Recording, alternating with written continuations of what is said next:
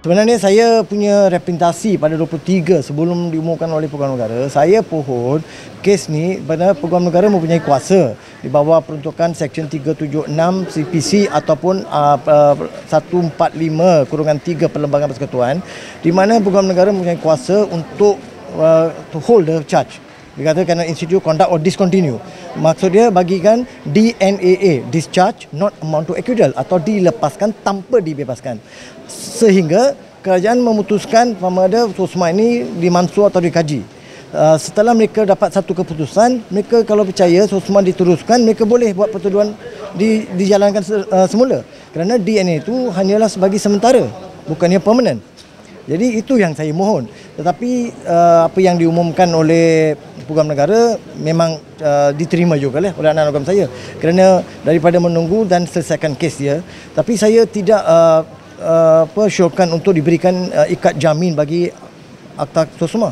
Jika pindaan diberi, sos, uh, Akta Sosma diberikan untuk ikat jamin, tidak akan membantu. Kerana jaminan, mahkamah-mahkamah akan masih tetap tarik-tarik untuk bicara. Jadi perbicaraan masih terus dijalankan.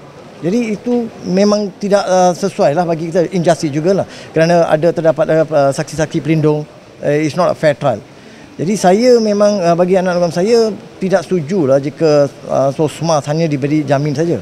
Saya saya pohon supaya fair trial under CPC dibenarkan.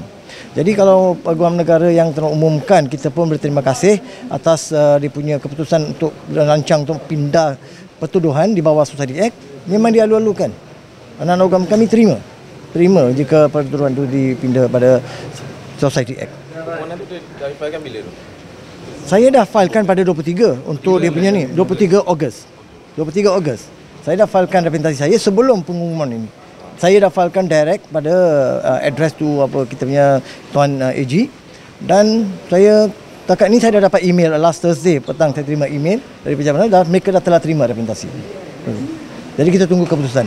Dan tarikh yang ditetapkan sekarang ni adalah pada 27. Sebenarnya kami pohon 2 minggu. 2 minggu ada cukup memandai supaya pihak uh, Guam Negara membuat keputusan. Tapi sekarang diberi pada 27 sampai 4 minggu nak close. Dan juga tarikh sebutan juga di, akan disebut di, uh, di penjara Kajang. Memandangkan ramai 38 orang. Jam 9.30 di penjara Kajang.